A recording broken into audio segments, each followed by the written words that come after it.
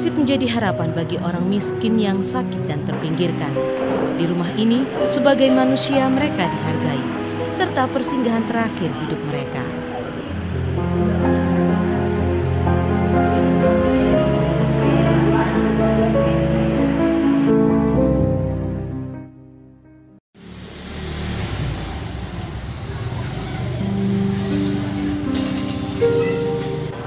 Bejo sejak kecil tidak pernah tahu ayah ibunya.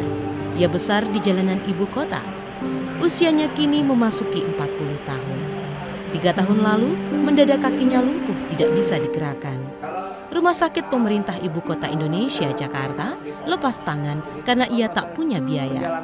Rumah transit Wisma Sahabat Baru menjadi tempat pelabuhan terakhirnya. Uh, saya udah pasrah pada saat itu. Sudah nggak bisa apa-apa waktu itu. Emang saya udah nggak punya dana. Cuma saya dibantu teman-teman. Waktu itu saya punya perkumpulan gitu. Perkumpulan doa. Jadi mereka yang bantu saya pada saat itu gitu. Setelah saya uh, udah pasrah gitu teman-teman buat mau bawa saya pulang. Cuman ada salah satu teman bilang suruh bawa ke Wisma Sahabat Baru daerah sini gitu. Daerah Kedoya ini di rumah transit ini Bejo diberitahu penyakitnya, TBC pada tulang yang menyerang sarafnya. Di sini ia memotivasi dirinya untuk tetap bertahan dan menghargai hidupnya.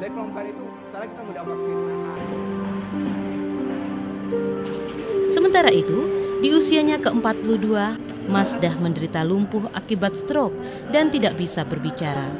Ia dibuang oleh suaminya dan ditinggalkan anak tunggalnya yang berusia 10 tahun. Di tempat ini, ia kini dirawat dan diobati.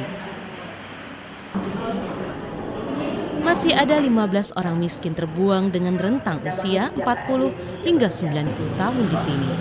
Mereka berasal dari jalanan atau kiriman lembaga sosial milik yayasan atau pemerintah. Penyakit mereka beragam, dari stroke, diabetes, hingga kanker.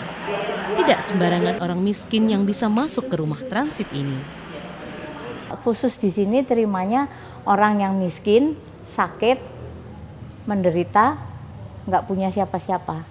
Gitu. Itu itu syarat uh, itu pasien vape kami itu.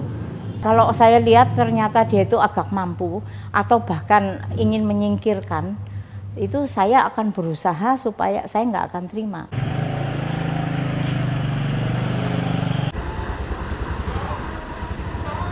Rumah transit Wisma Sahabat Baru dikelola oleh kerabat kerja Ibu Teresa sejak 1992 lalu. Nama Ibu Teresa diambil dari suster dari India yang membaktikan hidupnya untuk orang miskin.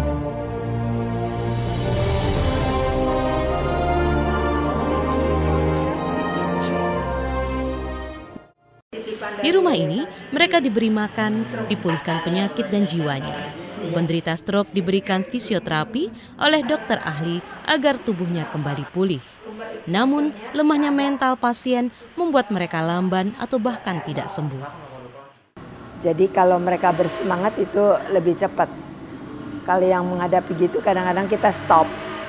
Baru nanti ulang lagi gitu. Jadi lambat.